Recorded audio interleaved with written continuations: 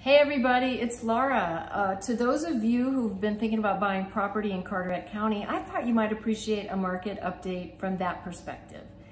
For starters, we just found out 48 properties went under contract last week, and that's exciting because that's not far off the number we would expect to see in any March, so clearly demand is still high in our area.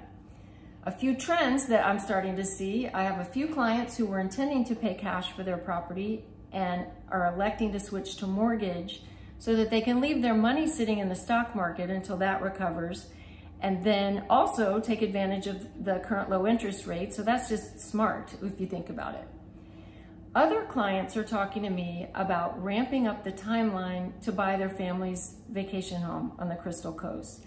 Because after all, they're canceling their summer cruise. They're electing not to take the big overseas vacation so why not go ahead and buy a property that everybody can enjoy that is so close? Because after all, we're also blessed to live close to this beautiful vacation area right here.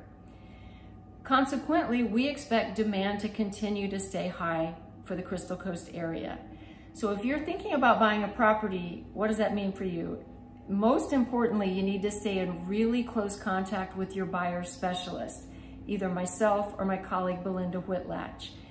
Our firm handles so many listings in this area, it's very common that we find out about properties before they go live in MLS.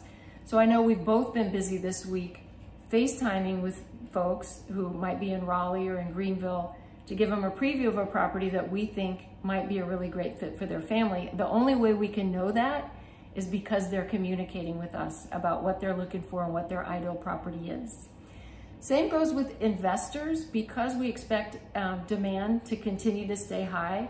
Um, we see quite a few investment opportunities, but again, please communicate with us so we know what your investment profile is.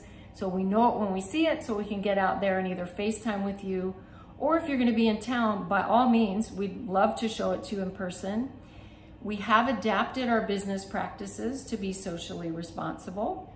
For example, we're no longer inviting folks to ride in our cars with us as much as I love having my clients in my minivan with me. Again, it's just a good practice.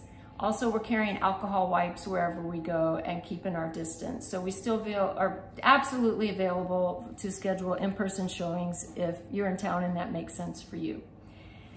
Last but not least, timing. Um, it's already March. If you envision a, a, world where your family is, is enjoying your new beach home at the Crystal Coast this summer, once we all get through the next few weeks together, um, now's the time to get that process rolling. And we are absolutely all hands on deck, still here to help. We look forward to hearing from you. Stay well, everybody.